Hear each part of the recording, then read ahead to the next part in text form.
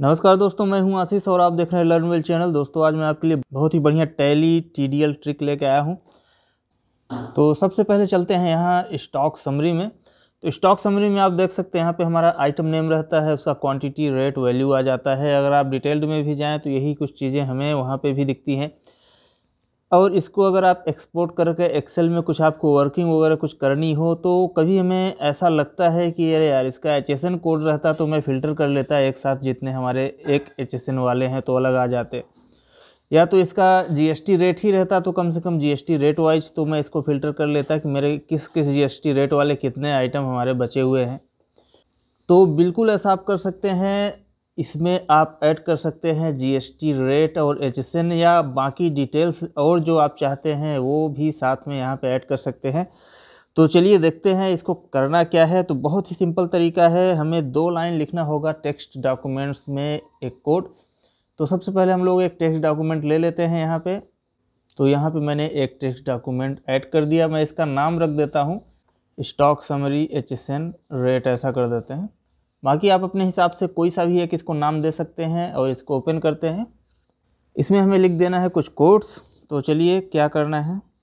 तो यहाँ पे आप देख सकते हैं, ऊपर में जो टाइटल लिख के आ रहा है तो हमें कुछ टाइटल ऐड करने हैं और उसके बाद फिर उसके नीचे उसका डिटेल आना चाहिए, जैसे इसमें डिटेल आ रहा है। जैसे यहाँ पे क्वांटिटी लिखा हुआ है और यहाँ पे उसकी क्वांटिटी आ रही है तो हम लोग भी ऐसा ही करेंगे। यहाँ पे लिखेंगे रेट और उसका रेट नीचे आएगा। यहाँ पे लिखेंगे एचएसएन कोड और उसका एचएसएन नीचे आएगा। तो सबसे पहले हम लोग टाइटल ऐड करते हैं तो टाइटल ऐड करने के लिए यहाँ पे एक ब्रैकेट लेते हैं और इसमें हैश के साथ में आपको लिखना है फ़ील्ड फ़ील्ड लिखने के बाद में आपको यहाँ पे लिख देना है D S P Q Q T Y T title आपकी स्पेलिंग सही होनी चाहिए, वो आपको ध्यान देना है। उसके बाद ब्रैकेट हम लोग क्लोज करते हैं और यहाँ पे ऐड कर देते हैं फील्ड्स। हमें टाइटल की जैसे दो या तीन फील्ड्स ऐड करनी है तो यहाँ पे फील्ड्स लिखेंगे। उसके बाद किसके बाद ऐड करना है, यहाँ कर देंगे। आफ्टर डी एस पी ये जो डी एस पी करके जहाँ भी मैं लिख रहा हूँ, ये स्पेलिंग आपकी सही होनी चाहिए। D S P D I S P title उसके बाद फिर यहाँ पे आपको खुद का जो भी आपका टाइटल की फ़ील्ड देनी है, उसका खुद का एक आप नाम दे दीजिए। जैसे मैं यहाँ पे एक नाम दे देता हूँ। Learn well stock H S N ऐसा कर देते हैं और टाइटल के लिए टी कर देता हूँ। उसके बाद फिर दूसरा टाइटल कर देते हैं। एक तो एच एस एन का टाइटल कर देते हैं, दूसरा रेट का कर देते हैं।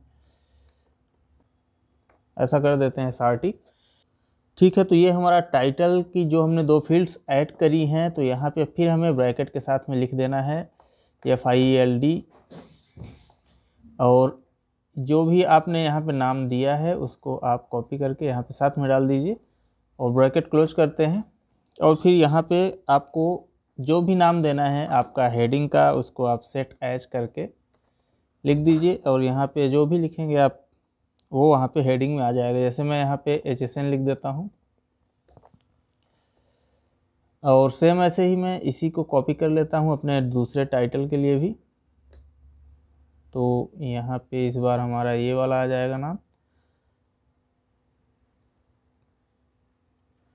और ये टाइटल जो है हमारा जीएसटी रेट करके ऐसा आप चेंज कर दीजिए।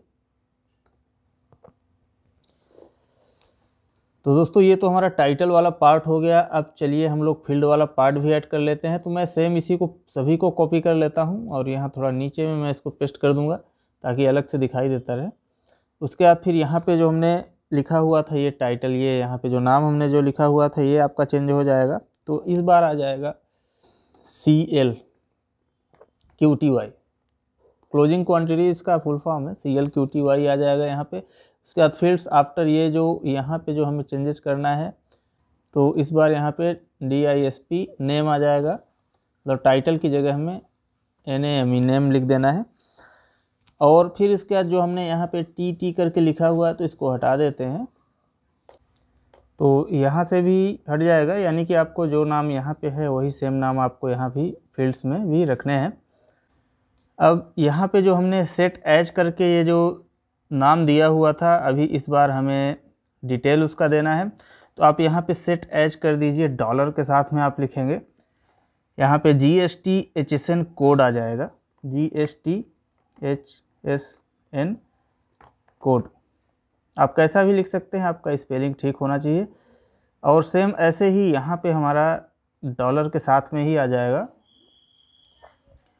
G S T I G S T rate. G S T I G S T rate.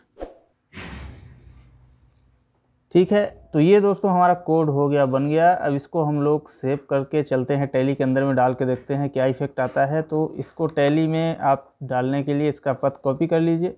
आप Tally R P nine Tally Prime आप दोनों जगह इसको आप यूज़ कर सकते हैं। तो इसके प्रॉपर्टी में, यहाँ सिक्योरिटी में जाने से हमें इसका पथ मिल जाएगा। आपको लास्ट तक पूरा कॉपी कर लेना है। और चलते हैं टैली के अंदर में। यहाँ पे आप प्राइम चला रहे हैं तो आपको हेल्प में T D L add on मिल जाएगा। यहाँ manage local T D L में जाएँगे। और यहाँ पे पथ को हम लोग पेस्ट कर देंगे। अच्छा यहाँ पे एक एरर आ रहा है। एरर को हमें सही करना पड़ेगा। तो यहाँ पे जो एरर जो आर दिखा रहा है तो यहाँ पे जो हमने डी एस पी क्यू करके लिखा हुआ है, इसको आपको क्यू नहीं लिखना है। D S P C L Q T Y इतना ही लिखना है। इसके बाद सेव कर लेते हैं इसको और दोबारा से एक बार टीडीएल को लोड कर देते हैं टेली के अंदर में। तो ये हमारा टी टी जो है लोड हो चुका है। चलिए एक बार देखते हैं क्या पोजीशन है। तो यहाँ पे अभी आप देख सकते हैं मेरा स्टॉक समरी कुछ इस तरीके से आ रहा है। फ़िलहाल मेरा इसमें किसी में अभी जीएसटी या उसका एचएसएन नहीं डला हुआ है तो मैं इसको सेट कर देता हूँ एक मिनट में। अभी इसको जैसे चेंज करते हैं, एक का किसी का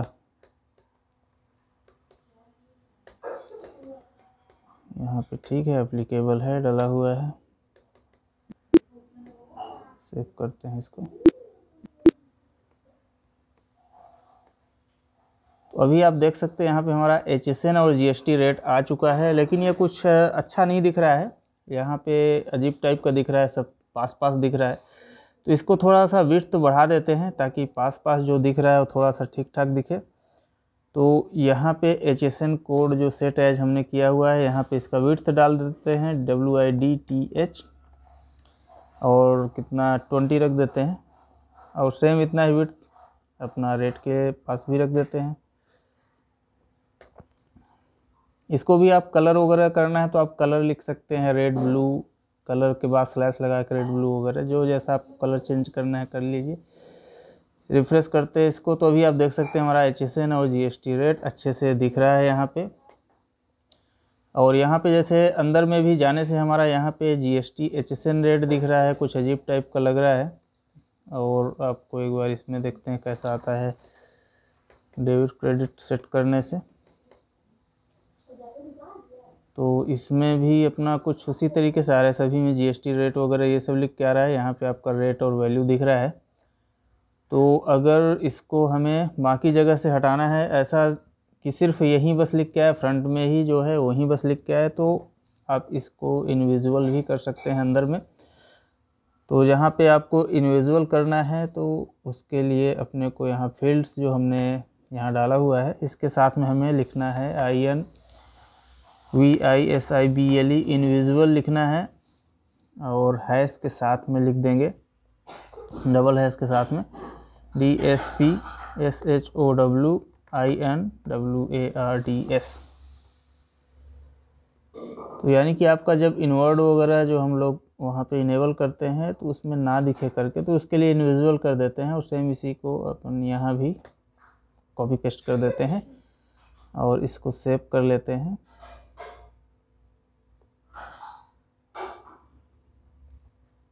वापस से टैली में रिफ़्रेश करते हैं। और अभी ठीक है, यहाँ पे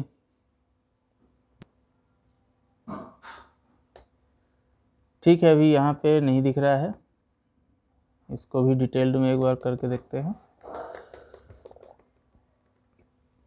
ठीक है, यहाँ भी नहीं दिख रहा है तो इस तरीके से आप उसको इनविजिबल भी कर सकते हैं कि आपका अंदर में वहाँ पे ना दिखे।